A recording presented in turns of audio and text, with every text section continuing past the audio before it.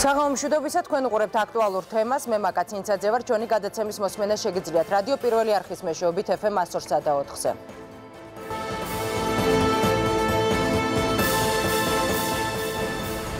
ონკოლოგიური დაავადებები ერთ-ერთი ყველაზე აქტუალური პრობლემაა. სიმსივნე სიკვდილიანობის მაჩვენებლით სოფლიოში მეორე ადგილზეა, თუმცა ამ დაავადების დაძლევა თანამედროვე მედიცინას უკვე შეუძლია. რა ვითარება ამ ხრივ საქართველოში? როგორია სტატისტიკური მონაცემები? რა უნდა ვიცოდეთ პრევენციისთვის? რა სახელმწიფო პროგრამები არსებობს და რა სირთულეებს აწყდებიან თავად ონკოპაციენტები? დეტალები რამდენიმე წამში.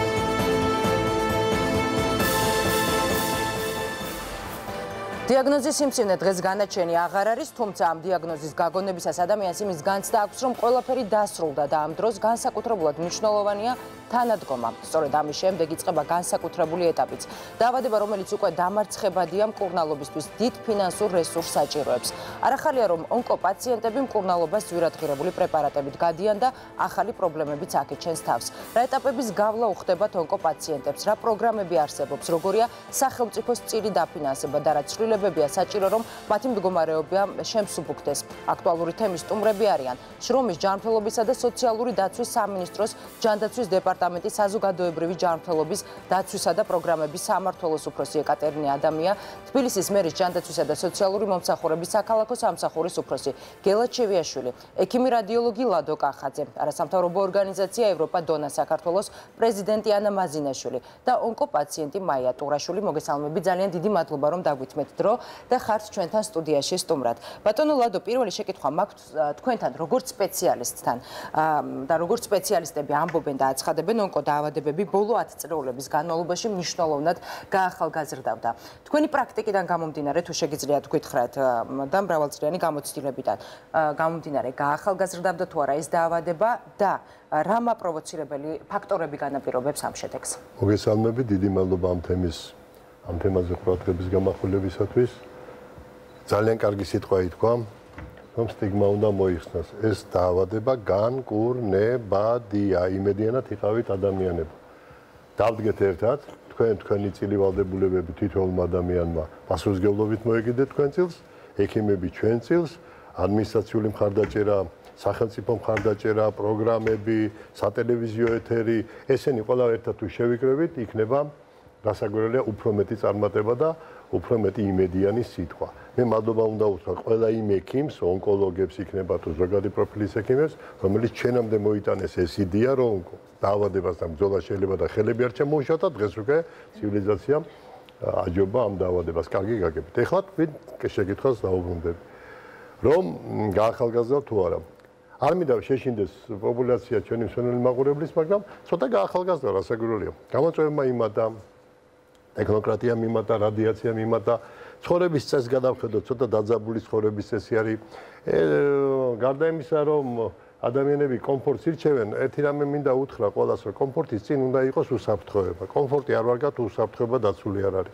ეხლა შევხედოთ ცხოვრების ჯანსაღი წესს, რამდენი მისდევს, ანუ უსაფრთხოების ის ელემენტარული პირობები. ძალიან ცოტა მისდევს. ეს თავის-თავის უპატრიცემონობაზე ლაპარაკი. აქ მატერიალური დანახარჯის არ არის საჭირო ადამიანმა გიგიენას ნორმებს მიხედოს, ფიზიკურ ჯანმრთელობას მიხედოს, მზის სხივის დროულად მიიღოს და სწორად მიიღოს. რომელიც ძალიან გვყვარს. ასე, როგი განამეტებით რა ასე, მოკლედ საგან განმანათლებელი მისიონერი ფუნქცია ესა. მეორე შევხედოთ იმ ეკოლოგიურ პირობებს, როგორ ზიმედგომარეობაშია დღეს სოფლიო დედამიწა რამ ზიმედგომარეობაშია. მე ცივილიზაციის განვითარება, ტექნოკრატიის განვითარება, რაღაც გამოწვევები გაზარდა კიდევაც. ერთხელ რაღაცა მიღწევები აქვს, მაგრამ მეორე მხრივ ამ დარტყმის ქვეშ დააყენა ჯანმრთელობა ადამიანის. ეხლა შეხვდით საკვებს, რასაკვებს ღებულობ. ცალკე თემა არის ის, რომ კალორაჟის თემა, რომელიც გაერომ გარკვეულწილად რეკომენდაციები გასცა და შემდეგ უკვე ჯანმრთელობის სოფლიო ორგანიზაცია, სოფლიო ჯანმრთელობის ორგანიზაციამ დაცია თამასა. კალორაჟის 4000 იყო კაცის 3500 ქალის, დღიური მოხდა ეხა 2000-ზე და ნუ ეს არის რეკომენდაციები, რომლებიც ასევე ამას უნდა შეეჩვიოს ეს პოპულაცია. მერე გენმოდიფიცირებული საკვები უდიდესი წილი მიუძღვის ამას. ეს ძალიან მკვნეულ თემას ვიტყვი და არ მინდა რომ ეს ის საშიში იყოს, მაგრამ თვითმკურნალობები უამრავი შემდეგ გაუთვისნობიერებლად აი იმ წამალთა სისტემაში მოქცევა, რომლის არასწორი რეკლამირების პირობებში ადამიანი იბნევა და არ ხდება. შემდეგ ექიმსა და პაციენტს შორის გარკვეულწილად მე არ მინდა ეხლა ეს ასეთი დაძაბულობა შემოვიტანო ძალიან სათუთ თემაში, მაგრამ ადა ვეკიმსა და პაციენტებს უნდობლობის ფენომენის გაზრდა, გესმით ასე საქმე. ამ ამ ეს ძალიან კომპლექსურია. მე თავიდან ვთქვი, რომ ჩვენ თუ ყველა დავდგებით ერთად, აქ ძალიან ბევრი რამის გაკეთება შეიძლება. მე არ შეიძლება რომ მადლობა ვთქვა, ძალიან დიდი მადლობა ვთქვა იმ ხელისუფალს მიმართ, რომელთაც აი გვერდში დგომა, დგომის ფორმა ძალიან კარგად გამოავლინეს და მატერიალური რესურსის ამ კუთხით გადანაწილება ეს იყო აი კიდევ ერთხელ თანალმობის, თანაგზნობის, საქმის სიღრმისეული წვდომის ამისი გამომჟღავნება და ადამიანთა იმ ნაწილს უთხრეს. თქვენ ნუ შეგეშინდება თქვენ ყურადღებით იყავით და სადაც ჩვენ შეგვეძლება იქ დავდგებით და საკამარისი ეხლა ვამბობ აი ზუსტად იქით მივდივარ. და კარგად ახსენე რომ ძალიან დიდ ფინანსებთან არის დაკავშირებული ეს ყველაფერი. ეხლა მოდი ცოტა ესე შევხედოთ ამას. აი მარტივ ენაზე ვილაპარაკოთ ბიუჯეტები არსებობს, საოჯახო ბიუჯეტი არსებობს, ადგილობრივი ბიუჯეტი არსებობს, ცენტრალური ფედერალური ბიუჯეტი არსებობს, არსებობს უამრავი ფონდები, არის შემოწირულობათა ფონდები, არის მიზნობრივი საერთაშორისო დახმარებები. გესმით ეს უამრავი და ახლა საჭირო არის გონივრულად ნებელობასთან ერთად, პოლიტიკურ ნებასთან ერთად, აი ამ რესურსების სწორი განაწილებისა და მოძიების კუთხით კიდევ სრულყოფა განვიცადოთ. იმიტომ რომ ტექნოლოგიური კუთხით დღეს საქართველოს არავის არ ჩამორჩება. დღეს არის ისეთი მაღალი დონის აპარატურა, ისეთი და კვალიფიციური სტატი, რომელიც იმ დაავადების, ჩვენ როგორ ვთქვით, მოიმატაო ხო? თქვით სიტყვა მოიმატა. ამ მომატებაში ერთი რამეც მინდა ვთქვა. დიაგნოზი ასეთია, უყურე, ზუსტი და დროული. შეიძლება იყოს ზუსტი, მაგრამ გვიანი და ცუდია. დროული როცა არის დიაგნოზი. აი ამიტომ კულტურა, ანუ ექიმთან მიმართვის კულტურა, თავისი გაჭირების, გაზიარების კულტურა, რაც მოიმატებს, უფრო ნაადრევ სტადიაში შეიძლება მისი გამოვლენა.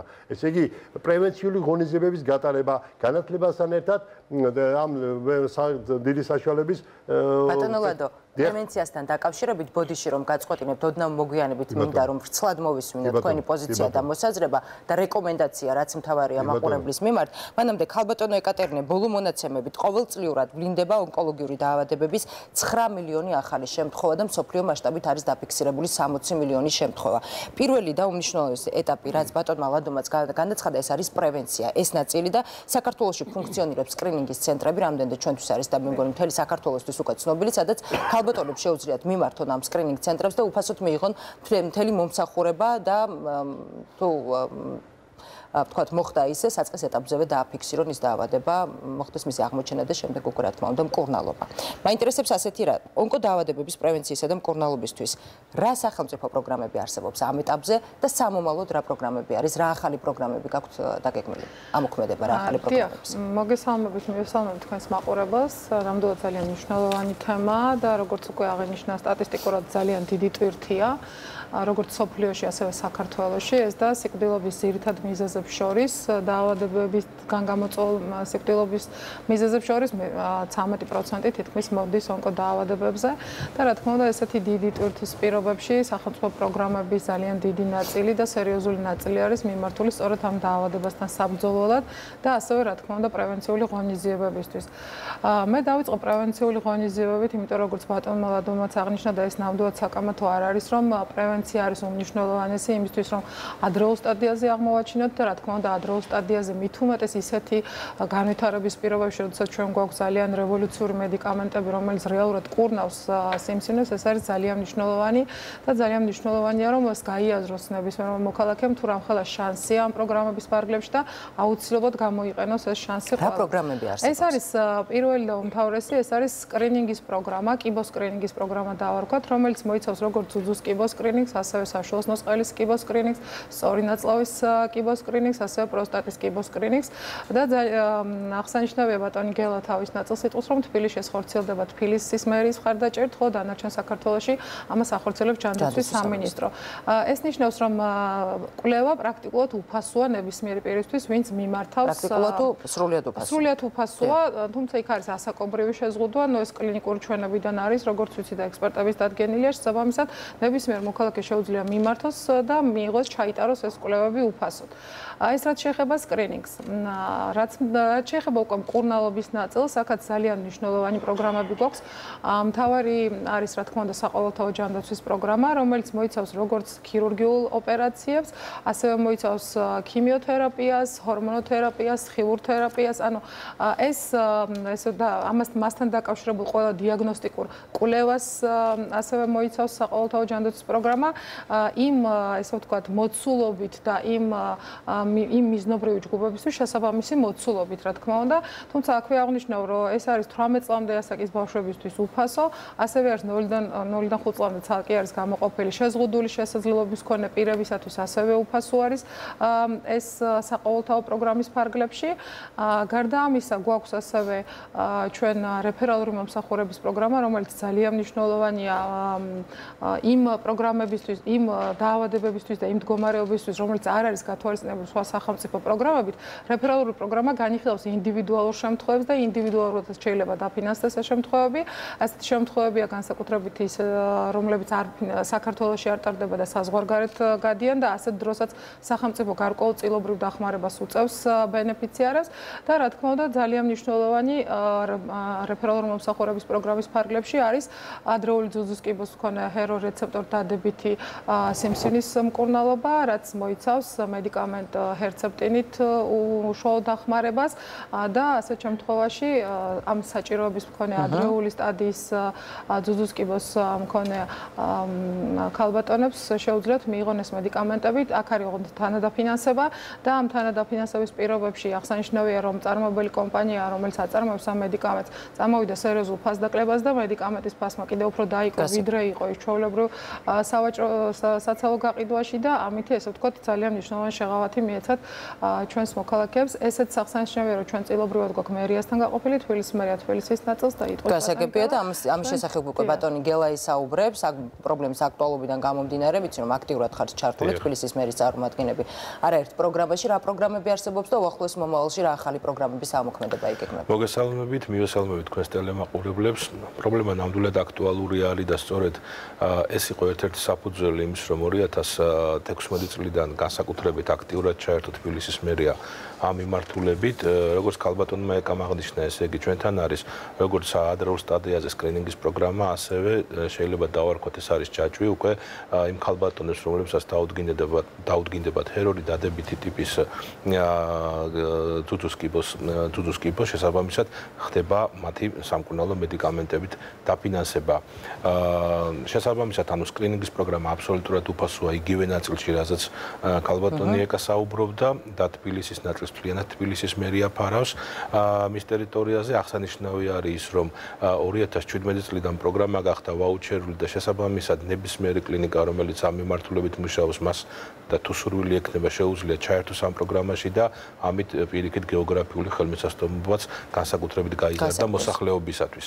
და მინდა აღნიშნო რომ 16 კლინიკა უკვე ჩართული ამ პროგრამაში გარდა სკრინინგ ცენტრისა რომელიც თბილისის მერის IP არის და მეორე მნიშვნელოვანი პროგრამა ეს არის სწორ სწორედ ეგრეთ წოდებული პრეპარატ ჰერცეპტინით უზრუნველყოფა იმ ქალბატონების, რომელსაც გააჩნიათ ჰერორი დადებითი ტიპის გიბო, ეს არის პირველი, მეორე და მესამე სტადია და ეგ გულისხმობს სწორედ რომ წარმოებელი კომპანიის ასევე ნამდვილად კარგი ნაბიჯით მოხდა ის რომ კომერციული ფასი ფაქტიურად განახევრდა და კიდევ უფრო მეტად შემცირდა 2018 წლიდან და თბილისის მერია აფინანსებს ამ მედიკამენტს სრულად ყველა up. ქალბატონისათვის, ვინც არის სოციალურად დაუცველი 150000 ქულის ქვევით, ხოლო ყველა სხვა დანარჩენი ქალბატონისათვის ღირებულების 80%-ს აფინანსებს, როდესაც ადრე ასეთ ოჯახებს 100000 ლარამდე უძრდებოდათ ამ მედიკამენტზე. მისი ფასი რა არის? რეცეპტინის ფასი რა არის? რეცეპტინის ფასი, ესე იგი, კომერციული ფასი იყო, სანამ ეს პროგრამა დაიწყებოდა 5500 ლარი, ხოლო დღეს უკვე 2018 წელს არის 2000 ლარი, ანუ საკმაოდ მნიშვნელოვანი. კურს გულისხმობს თუ ერთი? არა, ერთი ფლაკონის ღირებულება არის ახლა ეს და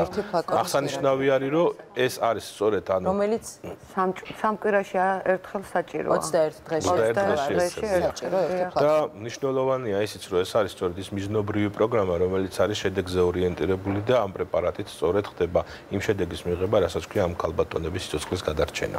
და კი ბატონო გასაგებია ქალბატონო ანა თქვენი ორგანიზაცია ძალიან მნიშვნელოვანი ორგანიზაცია რომელიც ფუნქციონირებს 47 ქვეყანაში მსოფლიოს 47 ქვეყანაში და ვიცი რომ 2006 წლიდან ფუნქციონირებს საქართველოში.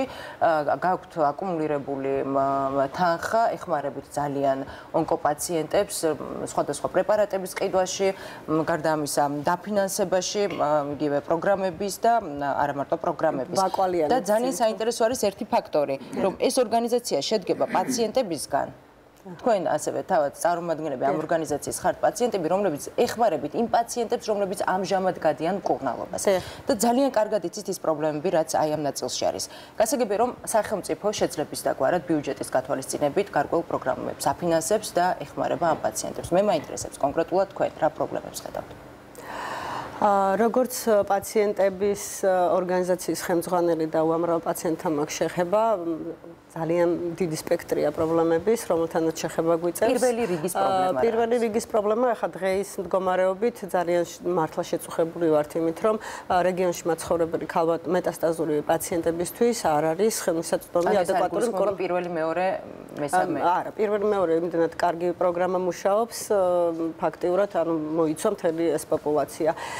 თუმცა დღევანდელ დღეს რაღაც დისკრიმინაციის მომენტიც აქვს და ცუდად გრძნობენ ეს ქალბატონები თავზე ძალიან ხშირი საყვედური მესმის, რომ რატომ მარტო თბილისელები არიან მკურნალობის ჩატარების ღირსი და ჩვენ სიცოცხლე არ გვეკუთვნის. ეს გულისხმობთ უფრო კონკრეტულად რომ გითხრათ. ის რომ, ბატონი გელა აცხადებს რომ თბილისის მასშტაბით ჰერცეპტინი იფარება. კი, ჰერცეპტინი ქალბატონ- იფარება და მთელი საქართველოს მასშტაბით იფარება 2016 წელს ამუშავდა პროგრამა, რომელიც მოიცავს პირველადი, ანუ რომ დადგინ დადგინდა პირველ მეორე მესამე მეტასტაზები არის გასული ასეთ შემთხვევაში უკვე აღარ თუ დაბრუნდა სიმსივნე და თუნდაც მესამე სტადია იყოს, მაგრამ დაბრუნებული სიმსივნე არის და იგივე მეოთხე სტადია, ამ დროს განიხილება, რომ ეს არის მეტასტაზური პაციენტი და მათთვის რეგიონებში არ არის ხელმისაწვდომი ჰერცეპტინი. თბილისის მერია, თბილისის მერია აფინანსებს ამ ასეთ პაციენტებს, ამ კატეგორიის პაციენტებს. ქაბატონო მაია, თქვენც კითხავთ და შემდეგ აუცილებლად ქალბატონ ეკატერინის პასუხს მოვისმენთ რატომ არის ეს მდგომარეობა. თქვენ დაგიდგინდათ 6 აპრილს, მიმდენ წინა წლის 6 აპრილს, როგორც ვიცი, ონკოდაავადება დიაგნოზი იყო ასეთი. რის შემდეგადაც დაგენიშნათ მკურნალობა. კონკრეტულად რა პრობლემას გადააწყდა და რამდენიმე ჩემთვის არის ცნობილი თქვენთვისაც პრობლემა არის ჰერცეპტინის მიღება. ერთი წამი თუ შეიძლება მადლობა მინდა გადაუხადო ყველა იმ ადამიანს რომელიც აი ამ ძიმე მომენტებში რაც არის რაც ეხება სიცოცხლეს დამიდგა გვერდში და უღრმესი მადლობა ყველას. იმიტომ რომ მე რო ახლა აქ ვზივარ და მე რო საერთოდ დავდივარ და ვარსებობ ეს არის ხალხის დამსახურება 80 თეთრიდან დაწყებული. მე მერიცხებოდა აი ესე და როგორ მოვედი აქამდე არის ალბათ უფლის დიდინება რომ მე ალბათ ცოცხალი უნდა ყოფილიყავი აქამდე რაც შეეხება იმას რა პრობლემებს წავაწყდი ეს არის ჩემო ძვირფასო ერთუშენიერი დღეც გათენ და ჩვეულებრივ მსახიობი ვარ. და მინდოდა წავსულიყავი რეპეტიციაზე მაგრამ რომ მოვისმინე ზუსტად სკრინინგმა გადაწყვიტა ჩემი ბედი. ვიფიქრე ჯირკვალი მაქვს და მოდი მივალ ბარემ გავესინჯები რა ხდება მეთქი და იქ დამიდგინდა კერდის ავთვისებიანი სიმსივნე თანაც მეოთხე სტადია და აქედან დაიწყო ჩემი ძალიან უდიდესი პრობლემები, ანუ რაც რა მქონდა, ყველაფერი ხო გავყიდე, თუ ვინმე მყავდა, ყველა დამეხმარა და აა გადმოვეწერე თბილისში, ამას ვაცხადებ. თქვენ ხართ გორიდან. გორიდან ვარ, გორის თეატრის მსახიობი. თბილისში? გადმოვეწერე თბილისში იმისთვის, რომ ძალიან დიდი იმედი მქონდა, რომ დაფინანსდებოდი. მიუხედავად იმისა, რომ გორი არის 70 კილომეტრში და ეს მე მიმაჩნია დისკრიმინაციად, ძალიან დიდ დისკრიმინაციად, როცა მე ხა მერის შეიძლება მერის ბრალი არ არის ეს, მაგრამ ეს სახელმწიფოა, საქართველოა და მე მგონია, რომ უნდა ფინანსდებოდეს ადამიანები, რომელიც გაცდებიან მცხეთას იქით დანარჩენი საქართველო, იმიტომ რომ ჩვენ ხო საქართველოს მოქალაქეები ვართ. რა და- მოხდა მას შემდეგ ქალბატონო მაია, რაც გადმოეწერეთ თბილისში? ანუ მე შევიტანე რამდენიმე თვის მერე შევიტანე ანუ წინა წელს თხოვნა რომ მიმეღო ეს ჰერცეპტინი და პერჯეტა რომელიც მერიაში. 8000 ლარი ღირს ვის მიმართეთ? მიმართე ანუ ამ პროგრამაში მერიას თვითონ. მიმართე დამაწერინეს განცხადება დავტოვე და გამოვედი თუ არა ანუ ერთი დღე და ერთი საათი არ გასულა. გამოვედი თუ არა ფეხი გამოვდგი თუ არა სანამ მეტრომდე მივიდოდი დამირეკეს და მითხრეს რომ თქვენ არ მოხვდით და ვერ მოხვდებით ამ პროგრამაში, იმიტომ რომ კრიტერიუმებს არ არ აკმაყოფილებთ. ხა უბრალოდ იცით რა არის, არა არავინ არ იცის ხვალინდელი დღე, ვისთვის როგორ გათენდება და ყოველას გაუთენოს ძალიან ლამაზად უფალმა, მაგრამ კრიტერიუმი ჩემთვის არის წამალი და მე თუ არა ვარ თბილისში ერთი წლის ჩაწერილი და ერთი წელი კი არა ერთი წამია ამ დაავადებისთვის უმთავრესი. აქ არ შეიძლება ლოდინი ეს სიცოცხლეა და მე სიცოცხლე მინდა მე ორი ტყუპი გოგო მყავს წელს მოხდა ქალბატონი. ეს მოხდა 6 აპრილს. ეხლა მოხდა ეს ნოემბერში და ეხლა კიდე შევიტანე. რომ ვიფიქრე რომ მეთქი ეხლა ის რა რატომღაც ერთი წელი შევიტანეთ გასული წლის ნოემბერში გასული წლის ნოემბერში და 8 იანვარს ზუსტად შევიტანე კიდევ, იმიტომ რომ ვიფიქრე რომ ერთი წელი ხო გავიდა, ახლა ჩაწერა, წელი ხო გავიდა და იქნებ მეთქი რაღაცა, იმიტომ რომ ეს ჩემთვის პასუხი თუ მე. რვანი რვაიან ვიცად ანალოგიურად მივიღე, ანუ მერიდან გამოვედი თუ არა, სანამ მეტრომდე მივედი, დამირეკეს და მითხრეს რომ არ ჩავჯექი, უბრალოდ შევეკითხე რომ აქ რატო მეთქი, აი რატო? იმიტომ რომ მეოთხე სტადია როა მაგიტო? არ შეიძლება ესე. მეოთხე სტადია ანუ არ უნდა დაფინანსდეს. ჩვენ უკვე გამოტანილი გვა განაჩენი. ეს განაჩენია ეს არ შეიძლება ესეთი რაღაცა. ჩემს უკან უამრავი ხალია აგერ ბატონმა ბრძანა კი გაახალგაზრდავდა იმიტომ რომ მე ყოველ სამკვირაში ერთხელ ანუ ყოველ დღეც დავდიოდი და ხედავ მე იქ რაც ხდება. იქ არიან ძალიან პატარა გოგოები და იგივე ანალოგიური პრობლემებით დატვირთული. გასაგებია, ქალბატონო ეკატერინე, გისმენთ, ეს მხოლოდ ქალბატონი მაია არ საუბრობს ამ პრობლემაზე. ჰერცეპტინის მიღებასთან დაკავშირებით გარკვეული პრობლემები არსებობს. ჰერცეპტინის მიღებასთან დაკავშირებით ჩვენი პროგრამის ფარგლებში ნამდვილად არანაირი პრობლემა არ არსებობს. ქალბატონი მაიას შემთხვევაში ეს როგორც მე მივხვდი, ეს ეხება მეტასტაზური ფორმების მედიკამენტს, პერჯეტას, რომელიც სამწუხაროდ ჩვენი პროგრამების ფარგლებში გათვალისწინებული არ არის.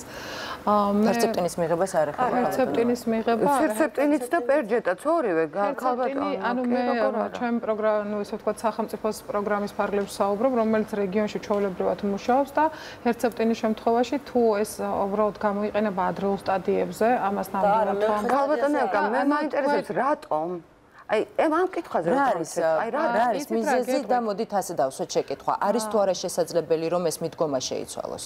იცით რა მიდგომა ანუ ყოველთვის ჩვენ გამოდივართ იმ ასე ვთქვათ სიტუაციიდან რა თქმა უნდა რაც გვაქვს რა მოცემულობაც გვაქვს და შესაბამ ამის შესაბამისად ვითვალისწინებთ იმასაც რა შესაძლებლობა გვაქვს სახელმწიფო ბიუჯეტის ფარგლებში. ანუ ეს თანხმედრა ერთმანეთთან თუ არ იქნა ისე რომ სრულყოფილად იყოს ანუ ძალიან ბევრი პროგრამა ჩამოვთვალე ბევრი კიდე კიდევ არ მithქვამს და ბევრი სხვა პროგრამაც არსებობს, რომელიც ესე ვთქვათ, სახელმწიფო ბიუჯეტის ფარგლებში ფინანსდება და ამ მოცემულობაში უბრალოდ წარმოუდგენელია, რომ ყველა დეტალი, ანუ ყველა მედიკამენტი და ყველა მიმართულება გასაგებია ამ პროგრამების სიკეთე, ხალბატონო ეკატერინე და გასაგები არის, რომ ბიუჯეტი არ არის იმ რაოდენობის, როგორიც უნდა იყოს, როგორიც სასურველია, რომ იყოს და გაწყვეტოს ყველა პრობლემის მოგვარებას. რამდენად არის შესაძლებელი, რომ დაფიქრდნენ ამ საკითხთან დაკავშირებით და მოხდეს გარკვეულწილად გადაწყვეტა? არ ქონდა. ანუ 2 წლის წინ ჩვენ ვიყავით იმ მდგომარეობაში, რომ ჰერცეპტინიც არ იყო დაფინანსებული სახელმწიფოს მხრიდან და ჩვენ ესე ვთქვა ძალიან დიდი ძალისხმევა ჩავდებით ამაში და მოვახერხეთ ის, რომ ეს პროგრამა დაგვეწყო 2016 წლის შუა წლიდან დავიწყეთ ჩვენ ეს პროგრამა და ესე ვთქვა ძალიან დიდ მიღწევად მიგვაჩნია ამ პროგრამის, რომ ამის შესაძლებლობა გვაქვს.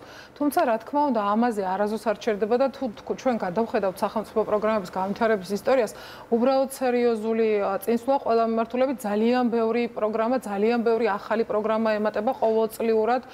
წელიწადში ორჯერაც ხდება ისეთი ინტერვენციები, ძალიან ბევრ თემას, ესე ვთქვათ, სახელმწიფო იღებს თავის თავზე და რა თქმა უნდა, ერთ-ერთი გზა იქნება და ეს, რა თქმა უნდა, ჩვენს დღის წესრიგში დგას, რომ ჩვენ დავაფინანსოთ მეტასტაზური ეს თავიდანვე განიხილებოდა უბრალოდ ამ ეტაპზე ჰერცეპტინთან ერთად ვერ მოხერხდა, ესე ვთქვათ, ამ მედიკამენტების ჩასმა, თუმცა ეს, რა თქმა უნდა, დღის წესრიგიდან არ მოხსნილა და ამაზე მუშაობა, ესე ვთქვათ, გასაგებია. ბატონო გელა, თითოეული წამი არის ძალიან ძალიან მნიშვნელოვანი ამ ადამიანებისთვის, რაც თქვენ ძალიან კარგად იცით, რა თქმა უნდა, და დარწმუნებული ვარ, რომ მეთანხმებით. თუ არის შესაძლებელი, რომ გარკვეულწილად მიდგომა შეიცვალოს, ბუნებრივია, რომ თბილისის მერი ამ შემთხვევაში აფინანსებს თბილისის მოსახლეობას და არ იყოს ბარიერი ის, რომ რამდენიმე თვის წინ მოხდა თუნდაც აი ამ ქალბატონის ჩაწერა თბილისში. დიახ, ანუ მე სწორედ ეგ მინდა აღვნიშნო, რომ ჩვენ 2017 წლიდან დავიწყეთ მეტასტაზური ფორმის დაფინანსებას, პერჯეტა ფერცეპტინის დაფინანსება და ამ მიმართულებით სწორედ 75-მა ქალბატონმა ისარგებლა უკვე მინდა აღნიშნო და უბრალოდ ციფრებში რო იყოს გამოხატული, ესა თქმა უნდა კონკრეტულად ქალბატონ მაიას არეხება 1.300.000-დან ავიდა ბიუჯეტი გაორმაგდა ავიდა 2.600.000-მდე. და მინდა აღნიშნო რომ ეს ერთ-ერთი მნიშვნელოვანი პროგრამაა მერის, რომელსაც ახორციელებს იმ დანარჩენ 7 პროგრამასთან ერთად, რომლის საერთო ბიუჯეტიც არის 15 მილიონი ლარი. შესაბამისად ამ მიმართულებით ჩვენ გამონაკლისის გაკეთება შეგვიძლია, როგორც ეს შეიძლება გაკეთდეს არა იმდენივე ფლაკოზე, რამდენიც შეიძლება პროგრამულად ფინანსდებოდეს, არამედ რეფერალური პროგრამით შეიძლება ჩვენ რო მოვახდინოთ რამდენივე ფლაკონის დაფინანსება. ეს არის ერთ-ერთი გამოსავალი ამ მიმართულებით, რომლითაც შეიძლება რომ ქალბატონ მაიას დავეხმაროთ, ეს ერთი, ხოლო რაც შეეხება უშუალოდ მეტასტაზურ ნაწილს, მეტასტაზური ნაწილი ფინანსდება თბილისის მერიიდან და შესაბამისად ეს პროგრამა 2018 წელსაც გაგრძელდა. გასაგებია ქალბატონო ეკატერინე, ჩვენი ინფორმაციით სამომავლოდ რაც მოვახერხე ინფორმაციის მოპოვება ყოველ შემთხვევაში მეტასტაზურ ნაწილის დაფინანსებაც იგეგმება. თუ შეგიძლიათ რომ გითხრათ დეტალები. აა უფრო მეტ დეტალს ეს შესაძლებელია. ნამდვილად ვერ გეტყვით, ანუ მე ანუ უფრო მეტ დეტალს გარდა იმისა რომ ეს იგეგმება და დღის წესიდან არ მოხსნილა, ესეც გითხარით, ანუ ამ მიმართულებით ისედაც მიდის მუშაობა და იგივე შემიძლია მე გავიმეორო და აღნიშნე კიდევაც რომ რეფერალური მომსახურების მომსახურების პროგრამის ფარგლებში ჩვენი მხრიდანაც იფარება ის სერვისი, რომელიც არ არის გათვალისწინებული სხვა სახელმწიფო სერვისით, ანუ თქვენ შეგიძლიათ სახელმწიფო სამინისტროში მოქმედ რეფერალურ კომისიასაც მიმართოთ ამ თხოვნით. და რა კი როგორ არა. ხო, ის თამაინტერესებს.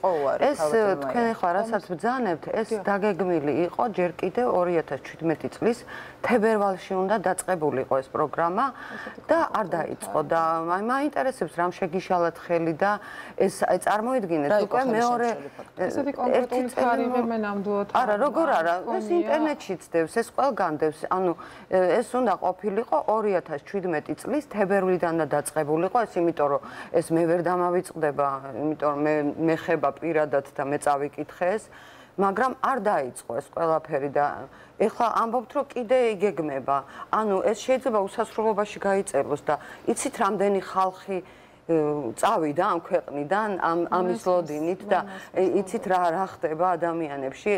თქვენ ახლა ამბობთ 200 200000 მე უკვე დამიჯდა მე უკვე დამიჯდა ეს ყველაფერი. 8000 რო პრეპარატი ღირს. ჯერ ერთი ის არ არ მესმის იცით რა? რატო ღირს 8000 ლარი თბილისის აფთიაქებში ეს პრეპარატი და რატო ყირს სამჯერ ნაკლები თურქეთის აფთიაქში ყველგან? აი პერჯეტა მაგალითად.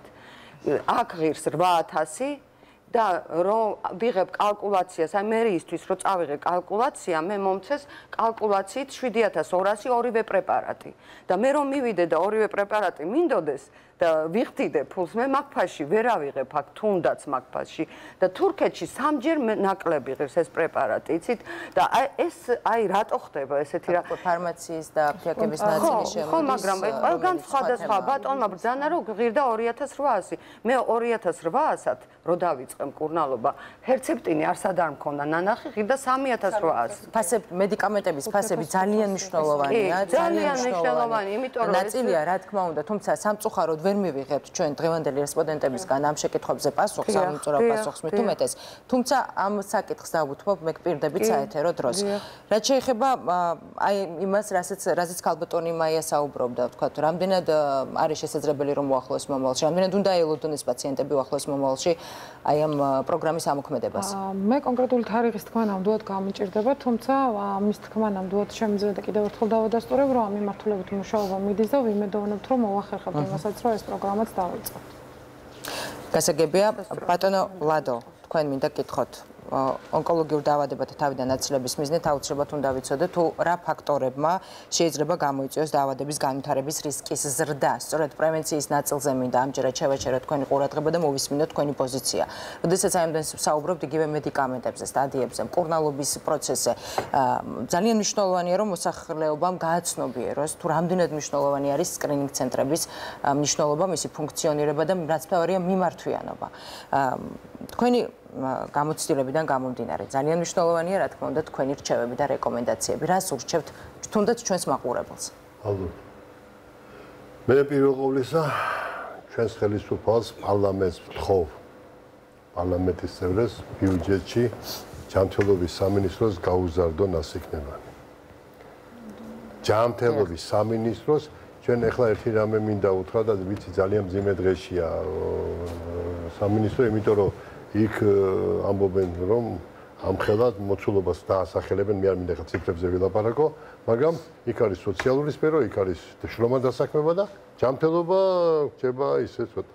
ჯანმრთელობის ნაწილში ჯანმრთელობის სამინისტროს დაუდგეთ ყველა გვერდზე.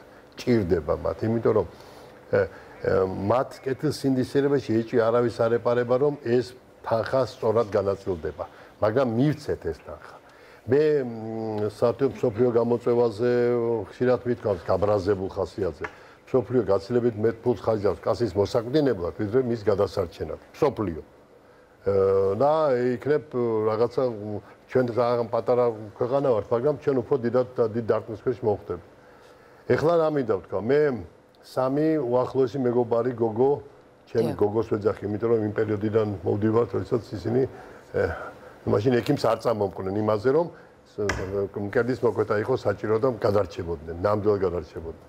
მაგრამ თქვენს რომ მე ჩემს სილამაზეს არ შევწირავ და დავკარგე ანგელოზივით, ანგელოზივით გოგები.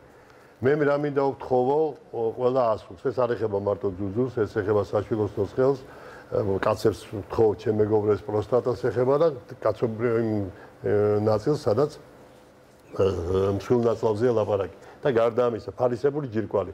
თქვა ყურადღებით სულ სოფლიოში ტოტალური დეფიციტია და ფარისებული ჯირკვალს უჭირს დედამიწაზე ყველგან. და თუ ფარისებურ ჯირკვალსაც რომელსაც ნივთიერება და ცვლაში ყველაზე დიდი როლი მიუძღვის აქვს სუსტი რგოლი ლოკუს მინორის რეზისტენცია ლათინურად თელ ორგანიზმში ის სუსტი ადგილები ყველა მხრიდან გაშიშრებული დახტება იმ ავადობას რომელსაც მე დიდი ბრძოლა ჭირდება. პრევენცია ვახსენე და აქ მინდა ვთქვა პრევენციის გაძლიერება სკრინინგ ცენტრებს გულისხმობ მიმართიანობის დროულობას გულისხმობ კომპეტენტურ რჩევას გულისხმობ კონსულტაციების დროულად ჩატარებას გულისხმობ ცხოვრების ჯანსაღწევას გულისხმობ ძალიან შეამცირებს მეტასტაზირების სტადიას. ძალიან ძალიან შეამცირებს. მაგრამ დღეს რაც რაც გომორებაში ვიმყოფებით, ეს ადამიანები სახელმწიფოს მიერ უნდა იყვნენ ფთა გადაფარებული. ყველაფერი უნდა გავაკეთოთ. სამინისტრომაც, ცენტრალურმა ხელისუფლებამაც, ყველამ უნდა გავაკეთოთ, რომ ამ ადამიანებს აქამდე ხო ვაგზნობინეთ, რომ რაღაცა გამოხდეს, გამწამოვიდით ამ მხარეს. ეხლა უფრო მეტად უნდა გაიზარდოს ეს პროგრამა მატერიალურ ნაზრს გულისხმობ. გარდაჭერას გულისხმობ, მედიკამენტური გარდაჭერას არაცა. ქალებს ასულებს, გოგოებს თხოვ მეტი ყურადღებით მოეყრან თავიანთ სასოცხლო ინტერესების მატარებელ განსაკუთრებულ ორ სისტემას, საძევე ჯირკვალს და საშვილოს. ნუ შეწყვიტავენ ზუდუთი კვებას. ნაადრევი შეწყვეტა ზუდუთი კვების არის ერთ-ერთი მიზეზთაგანი. ანუ ის ვადები უნდა იყოს დაცული, რომელიც ბიოლოგიურად არის მოწოდებული ახალშობილის კვებისათვის. შემდეგ მექანიკური ტრამვები შეიძლება არის ხოლმე ტანსაცმლის ფორმის მორგების დროს ისინი არასწორ აა აზღუდებს იყენებენ, რომელიც მექანიკურად შეიძლება აგზიანებდეს. ჰორმონალური დისბალანსი, რადიაციული ზეწოლა, უამრავი თვისები, უამრავი გამოწვევები, რომელსაც ქალმა, ასულმა დიდი ყურადღება უნდა მიაქციოს. ელემენტარულად თავის გიგიენის დროს, როდესაც ის ჩამოივლის თავის სარძევე ჯირკვალთან, იმ ბილად თვითონვე მოისინჯოს პირველივე დისკომფორტზე, პირველივე დისკომფორტზე ხასუსავ მიმართოს ექიმს. ნუ აიღეს პასუხისგებლობას თავის თავზე. პირველივე დისკომფორტზე. იქ შეიძლება სრულიად ეს დისკომფორტი რა ტიპის შეიძლება იყოს? შეიძლება იყოს ტკივილი, შეიძლება იყოს სიცოცხლე ზედაპირზე, შეიძლება იყოს კერტიდან გამონადენი სისხლიანი ერთი წვეთიც კი იყოს გახელი ჩამოსმის დროს ან იღლის ფოსოში უს უცხო წარმონაქმნის შეგრძნება ან კერდის საათის სისხლის მიმართულებით აი ამ 12-ვე სექტორში ხელის მოსმით ზედაპირზე ღრმა პალპაციაც არ არის საჭირო. შეიძლება ის დისკომფორტი თითებითაც კი ტაქტილურად იძნოს და ამ შემთხვევაში აუცილებლად უნდა მიმართოს ექიმს ისევე როგორც ნებისმიერი ციკლის დარღვევის დროს, ქალთა წესის დარღვევის დროს, აციკლიური სისხლის დენის დროს, ან და მენზეს მოლევის შემდეგ სისხლის გამონა სისხლიანი გამონადენის არა სწორი ფორმირების დროს ვთხოვს უყოლა შვილებო აა ჩემ ასაკში უკვე იმ ქალებს ეს პრობლემა ნაკლებად აქვს ვინც არიან მაგრამ შვილებო და საშუალო ხნის გოგოებო და ასულებოს უყოლას გთხოვთ პასუხისგებლობა თავზე ნუაიღებთ. მიმართეთ ექიმს. იმიტომ რომ დროული დიაგნოზი ხას უსვამს აგვაცილებს დანახარჯს. ხას უსვამს დანახარჯს ეს დანახარჯი ოჯახსაც აცდება, სახელმწიფო ბიუჯეტსაც აცდება, ადგილობრივ ფედერალურ ბიუჯეტსაც აცდება და სამათხოვრო ხელი აგროვნება გაწვილი სხვა ქვეყნებზე რომ არიქა ფონდებში ჩაგდეთ და დაგვეხმარეთ. მაგრამ დღევანდელი ჩვენ მე ამოდივარ დღევანდელი სიტუაციიდან. აი გვერდზე მისის ანგელოზივით ასული. დღეს მინდა სულ ყველას ძალისხმევად რომ ეს პრობლემები რომლებიც დღეს გვიდგას დე ფაქტო გვიდგას ეს მოვლენები ეს არის ძალიან კარგი სულ ეხლა მე გავილექსე და ბევრი რაღაცები თქვი და ესე და ეს ეს კი გასაგებია მაგრამ ეს ამომავლოა დღეს დღევანდელი მდგომარეობიდან დე ფაქტო მდგომარეობიდან. უნდა არ ვიცი ხა მე როგორ შეიძლება ხა ბიუჯეტის ფორმირება ძალიან თული თემაა და მე თუმცა შესაძლებელი ბატონო იცით რა შეასაგვე კი ძალიან მარტივია შეშორდა საუბარი მაგრამ მუხლებიდან მუხში გადადანა არაპროფილური მუხლიდან არაპროფილური ძალიან თული თემა არის. ბიუ ამას შეიძლება აუცილებლად ნებელობა ამას შეიძლება რადგენილება შესაბამისი განაცხადება პარლამენტში ამიტომ მოდით ესე ესე გავაკეთოთ. ეხლა მე მჯერა რომ იქ ვინც ხედან ასაკით ახალგაზრდები არიან და კარგად უწყია რომ მათ შემდგომი თაობები რომლებიც მოვლენ მათზე მე მზრუნველობა უნდა გადაიბარონ. ასაკი შემთხვევაში და ავადობის სიღრმის გამძაფრების შემთხვევაში გასილებით მეტი მithumetes თუ რაღაცა გავგეპარა თავის დროზე იმას უნდა გამოვეკიდოთ მაგრამ არ დაუთმოთ არავითარ შემთხვევაში. დიახ. კაპიტანო ანა მე მაინტერესებს ასეთი რამ თქვენი ორგანიზაცია რომელიც სოფლიოს 47 ქვეყანაში ფუნქციონირებს ხო? მინდა დაუბრუნდა მედიკამენტების გაცემის წესს. როგორ ხდება ეს სხვა ქვეყნებში სხვა ქვეყნებში საერთოდ დიდი თხოვნა მაქვს და მიუმართავ ჯანდაცვის სამინისტროს რომ აუცილებლად რაღაც მოხდეს ისე რომ პრიორიტეტი იყოს ეს ონკოლოგიური და ონკოდაავადებები.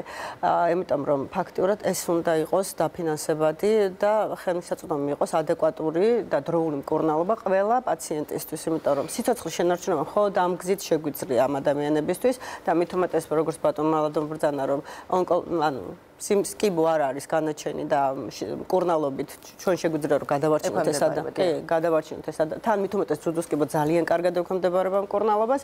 ამიტომ როგორც პაციენტი ვისურვებდი რომ ეს იყოს პრიორიტეტი ქვეყნისთვის და რა ვიცი შეუნარჩუნოთ ამ ადამიანებს სიცოცხლე. იგივე პრევენციულ ზომებში მინდა დავამატო ერთიც რომ მოწევა რომელიც ძალიან ესეთი აქტუალურია მე ვთვლი რომ ეს არის რაღაც გამაფრთხილებელიც უნდა იყოს და ამის მავნებლობაზე ძალიან ბევრი სასაუბრო არის და მოკლედ ყველა ნაბიჯი უნდა გადავდგათ რომ ადამიანები გადავარჩინოთ და სიცოცხლე შევუნარჩუნოთ და მე ამ წუთას ეს მაიკოს ერთეული შემთხვევა არ არის.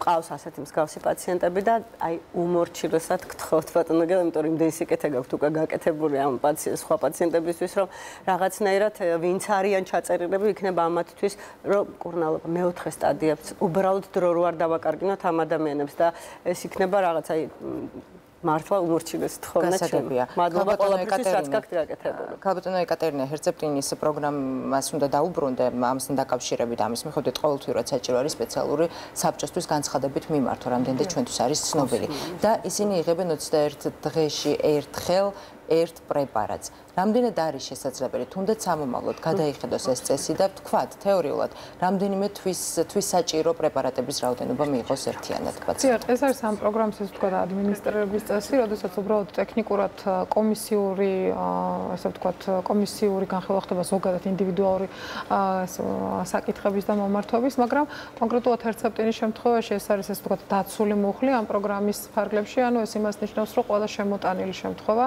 რომელიც ზუსტად ზუსტად ზუსტად არის განსაზღვრული დადგენილებით რომელი შემთხვევა უნდა შემოვიდეს ყველა შემთხვევაში ეს მედიკამენტი გაიცემა და ანუ უბრალოდ ფორმატია ესეთი ამის რომ კომისია იკრიბება და კომისიაზე უნდა მომართოს პაციენტმა ამ მედიკამენტის მისაღებად.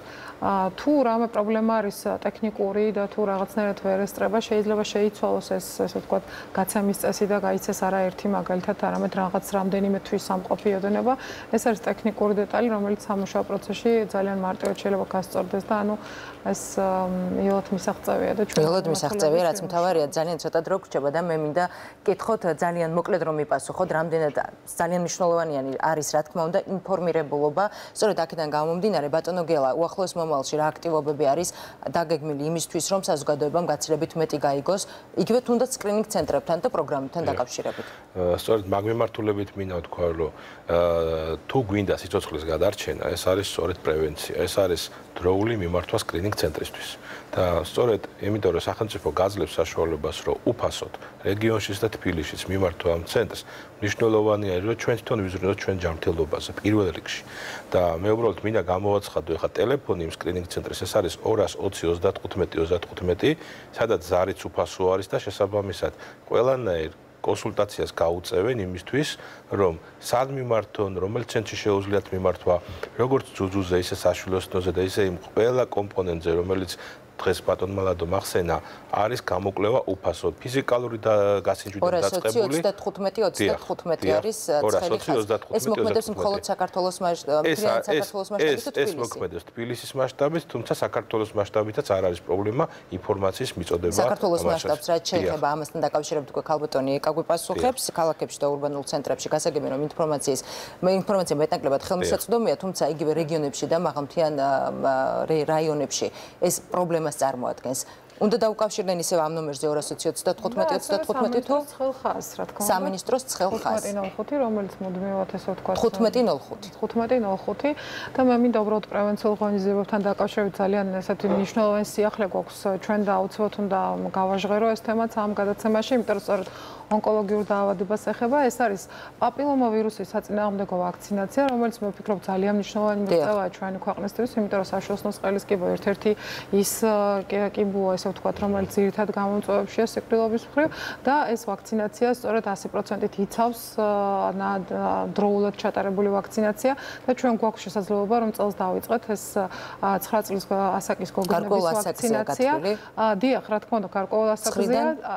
9 წლის ასაკზე გვაქვს ჩვენ, ну ესე ვთქვათ, წელს ეს ვაქცინაცია პირველი ეტაპი, ესე დავარქვათ და მე უკვე ჩვეულებრივად უნდა ჩაჯდეს ჩვენს ეროვნულ კალენდარში, ესე გვაქვს დაგეგმილი და ეს არის ძალიან მნიშვნელოვანი და მე ყოველს მოუწოდებ, რომ სწორედ ეს არის ის დაცვა, რაც ზუსტად ვიცით, რომ ჩვენ შულებს დაიცავს მომავალში ამ საშინელი სენისგან და ამიტომ ყოველს ურჩევ, რომ გამოიყენონ ეს შესაძლებლობა და სწორედ ამ ვაქცინაციით და სკრინინგული, როგორც ბატონმა გელამ თქვა, სკრინინგული კვლევებით, ესე ვთქვათ, თავიდან ავიცილოთ და დროულად გამოვავლინოთ თუ არის ეს დაავადება. ძალიან დიდი მადლობა საინტერესო საუბრისთვის. დაავადებას კარგი კარგად არის თქვა. აა რასაკვირველი ამ ვაქცინაციას ყავს თავისი მწინააღმდეგეები. და ყველას ვაფრთხილებ, ყველას კი არ ვაფრთხილებ, ყველას მოუწოდებ და ვეუბნები რომ ამ თემას ნუ ეთამაშებიან ვაქცინაცია ეს არის ის გზა რომელმაც შეიძლება გადაგვარჩინოს, რომელმაც შეიძლება გვიხსნას ბევრ შემთხვევაში. და როგორიც არ უნდა იყოს თელობა ჩაშალონ ან ჩაგვიშალონ ეს თემა ჩვენი აი თქვენი გადაცემის მეოხებით. ჩვენი გადაცემების მეოხებით საგანმანათლებლო გადაცემების მეოხებით. აი ამ თანადგომით ამ უანგარო დახმარებით უხასუსამ უანგარო დახმარებით და ცოდნის განაწილებით ჩვენ უნდა ერთად დავძლიოთ. ძალიან მადლობა. ესა და დასაძლებია ნაადრე მადლობს რადიოებს მადლობთ. უღმესი მადლობა საინტერესო საუბრისთვის. თქვენ უყურებთ აქტუალურ თემას, აქტუალურ თემა ამ თემას რა თქმა უნდა არაერთხელ დაუბრუნდება თავის აქტუალობიდან გამომდინარე.